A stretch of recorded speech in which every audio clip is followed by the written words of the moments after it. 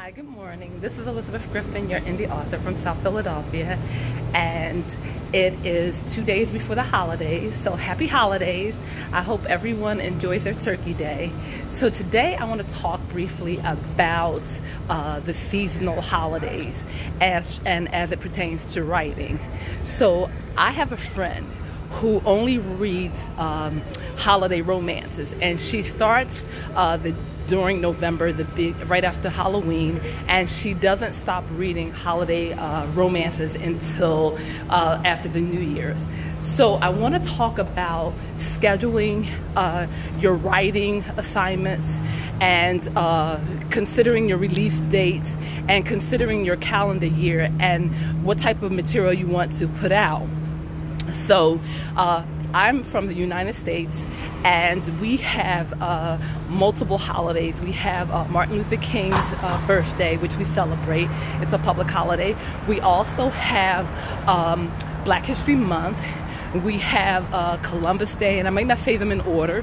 We have President's Day. We have Valentine's Day. We have uh, Good Friday. We have Sun. Um, we have um, Easter Sunday, we have Christmas, Halloween, Thanksgiving, and of course, Happy New Year's. There's also Labor Day and Independence Day. So, all of these holidays, you could uh, write a romance story uh, surrounding them. And uh, if you're not sure of uh, what to write or what type of assignments, you may consider writing seasonal work. Uh, if you do seasonal romances, however, uh, take into account that you should write them well in advance uh, so that you can promote them and market them around the holidays. So, this is the ending of the year, uh, 2019. So, at this time, you could be thinking about your calendar year for next year. So, you can consider writing uh, let's say for Valentine's Day, you can do a Valentine romance. Um, that would be something nice for uh, couples and uh, people that are, are are in love or wanting to be in love or hoping to be swept away by that season. So you may consider writing um, romances for, uh, uh, like I said, uh, Valentine's Day. I would also entertain the idea of even writing something around Martin Luther King's uh, birthday because of, of the civil rights movement and, and um, all the things that he's contributed to society as a whole. So you may want to talk about some of the political issues that are going on now um, as far as racism and as far as um, people that are divided between uh, par- political parties and how uh, people have different feelings, uh, strong feelings about the political climate that we're uh, in right now. So you may want to uh, use his birthday as um, a kickoff to address some of these uh, issues in a romantic type of way. You could even talk about segregation and, and um, have we really gone gotten that far away from um, uh, segregation, or are we cycling back around to that particular uh, point in history? So that may be something that you would consider. Uh, or you may want to do something lighthearted like a romance uh, around the 4th of July or uh, Halloween. That would be an interesting one uh, where you could do the paranormal. Uh, so consider the coming year, consider the type of seasonal writing that you might be interested in producing and, and create a calendar, uh, create a release date. Uh, as a writer, you should always uh, have projects that you're currently working on, projects that you will be working on in the future, and then projects that are ideas. Uh, you should always be generating, pardon for a moment while this passes. Thank you you should always be uh, generating ideas, uh, looking for ideas uh, wherever you uh, wherever you are, wherever you go. Uh, that should part of your mind should always be uh, on, so that when you see something, it'll trigger automatically. You know, that's a storyline, or that's something I could write about. Um, and let me hurry up and pass this truck because I think it may take off and make lots of noise, which will inter interrupt the the video.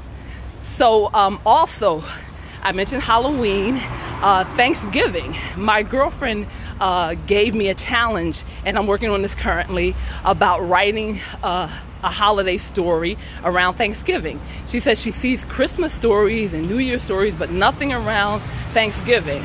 So that's a personal challenge for me.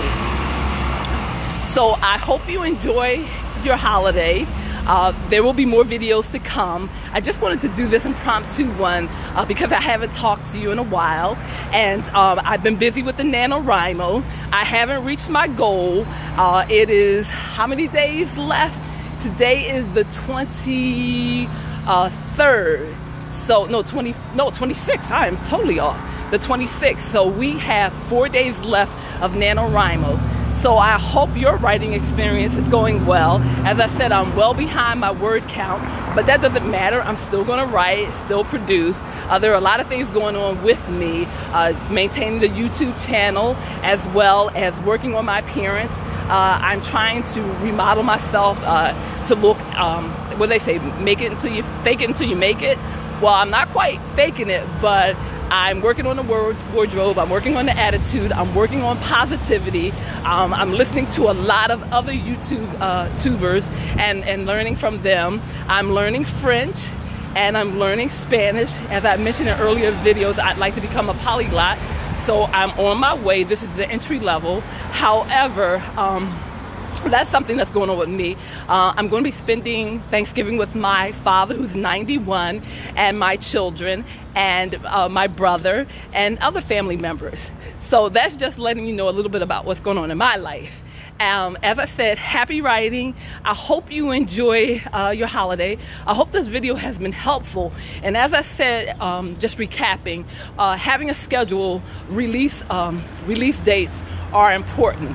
Even putting your books on um, Amazon and other websites as pre-orders can generate sales. So suppose you want to, uh, let's say, write something about uh, Easter or Passover or something like that, you could create a cover, uh, come up with a blurb, uh, which is telling about your story, and post it as a pre order. And then that'll give you three months of time for Amazon, other places it's longer, in which to produce a short story or a novel, whatever your uh, framework as far as writing uh, is concerned, that's what you can produce.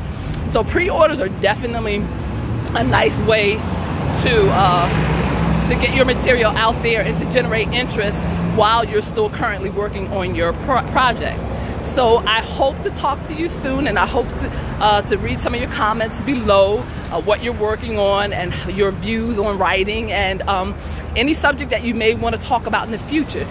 Just uh, leave a comment below. Let me know your feelings, and uh, follow me. Oh, we can't go that way. The lighting is bad. The lighting is terribly bad. Uh, doing videos is interesting because you have to be concerned about the lighting as well. So, uh, as I said, um, leave comments below. Let me know uh, any subject that you may be interested in reading about. I mean, not reading about, uh, you would be interested in having me discuss. And uh, follow me on Facebook, Instagram, Twitter. And as always, enjoy your holiday. Love, peace, joy. And bye bye.